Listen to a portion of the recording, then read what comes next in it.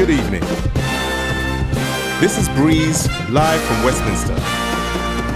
The Tory party, they got lots of jokes. They wanna fly to Rwanda to stop the boats. We've had David, Theresa, Boris, and Liz for 14 years. They tore this country to bits. Rishi Sunak, that's the main guy.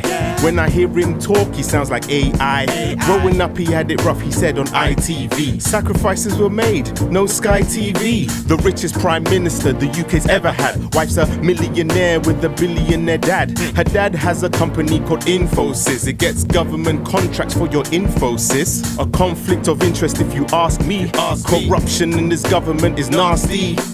Scandalous, squandering billions during COVID, giving their cronies millions. Please, we need apologies for the policies and the prophecies we often see like prophecies. They're Robin Hoods, taken from the poor, tax breaks for the rich and making it the law. Never have I ever heard a Priti Cruella or a Kemi that was semi self hating when debating. Uh-huh. Not very cleverly or Zahawi, they jar me. They wanna send your youth to the army.